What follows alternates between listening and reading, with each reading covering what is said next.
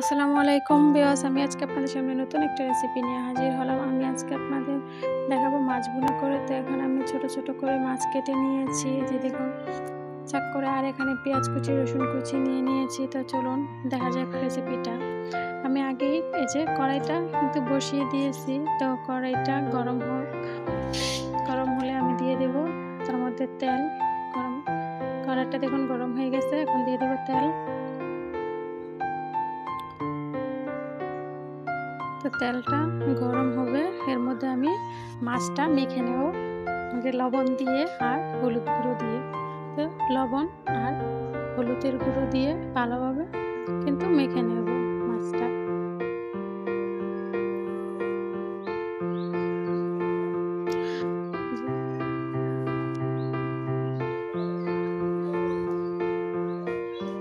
যে মাছটা মাছটা ভালোভাবে মেখে নিচ্ছি। তারপর এখন আমি এটা ভেজে নেব। মাছটা এই যে কিন্তু মাখা প্রায় শেষ। তো এখন আমি এর মধ্যে আমার তেলটাও কিন্তু গরম হয়ে গেছে। তো যে এখন তেলের মধ্যে মাছটা দিয়ে দেওয়া হলো। আমি দেখব আর কি যে লেগে যায় কি না মাছটা। তো এই যে লাগছে না, তো এখন পুরো মাছগুলো দিয়ে দিই। পুরো না মানে আমি দুইবারে মাছটা ভেজে নেব, নাতে ভেঙে যাবে। আর আপনারা যদি আমার চ্যানেলে নতুন হয়ে থাকেন তাহলে সাবস্ক্রাইব করবেন আর বেল বাটনটি অন করে দিবেন যাতে আমার ভিডিও নোটিফিকেশানটি আপনার কাছে চলে যায়। আর আমার ভিডিওটি কেমন হয়েছে আমাকে কিন্তু জানাবেন কমেন্টে। যে এভাবে রান্না করে কে কে খেয়েছেন?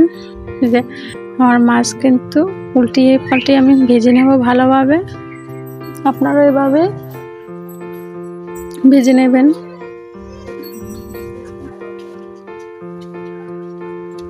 আমার মাছ ভাজা শেষ, এখন আমি নামিয়ে নেব। যে দেখতেই পাচ্ছেন আমার মাছ ভাজা কিন্তু শেষ। তো একে একে আমি ওইগুলো ভেজে নেব, এগুলো নামিয়ে। যে দেখুন, একে একে আমি সবগুলো ভেজে নিচ্ছি।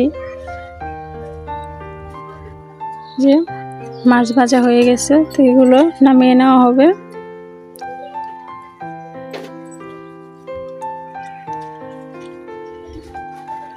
দেখুন, এখন পেঁয়াজ কুচি আর রসুন কুচিগুলো দিয়ে দেওয়া হবে। এগুলো ভালোভাবে ভেজে নেব।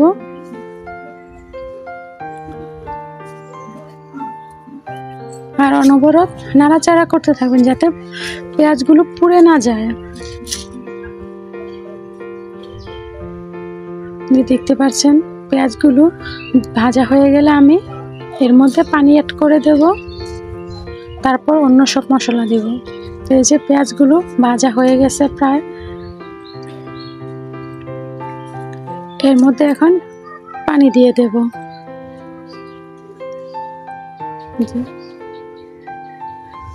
অল্প পানি দেব, অল্প পানি দিয়ে এখন মশলাগুলো দেওয়া হবে। লবণ দিয়ে দিলাম।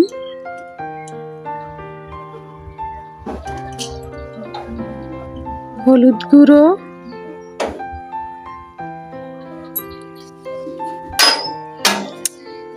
ধনিয়া গুঁড়ো।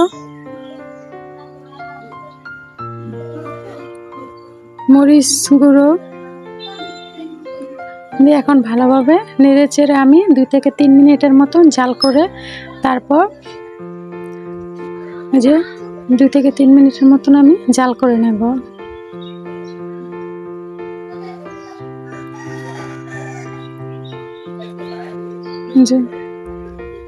জাল করে আমি আরেকটু পানি অ্যাড করে দেব।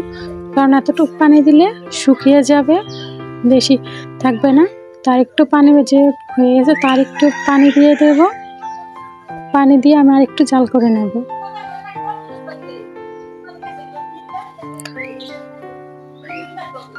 যে দেখুন, জাল করা হয়ে গেছে। এখন এর মধ্যে আমি মাছ দিয়ে দেব। মাছ দিয়ে আমি পাঁচ মিনিটের মতন জাল করব। তারপর কিন্তু আমার রান্নাটা শেষ হয়ে যাবে। যে দেখতেই পাচ্ছেন।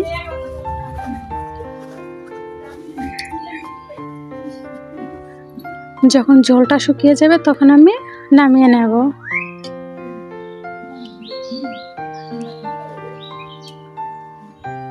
তো আমার, এই যে দেখছেন, ঝোলটা কিন্তু শুকিয়ে গেছে। এখন আমি নাড়াচাড়া করে তারপর চুলাটা অফ করে নামিয়ে নেব।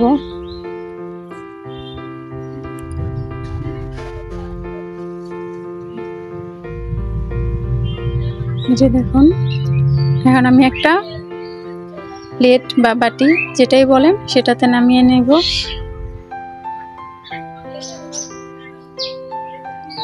এটা কিন্তু গরম ভাতের সাথে খেতে খুব ভালো লাগবে।